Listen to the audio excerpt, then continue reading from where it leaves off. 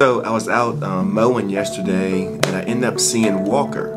Walker had his dirt bike at his house and so I thought I'd stop by and ask him a few questions about his dirt bike.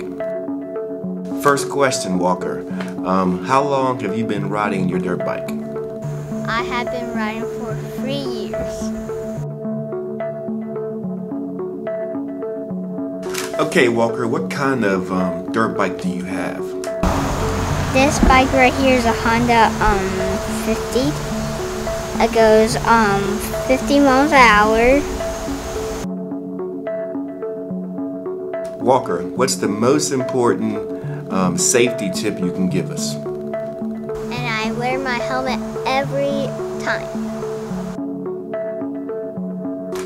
Okay, Walker, do you have a favorite um, trail that you like to ride or a favorite path that you ride at your house?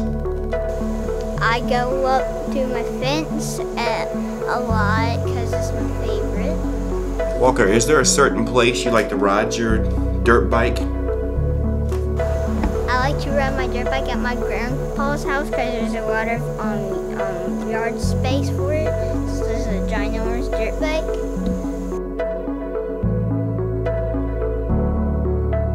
Walker, is there a reason why you bought a red dirt bike? Dirt bike's red because it's one of my favorite colors.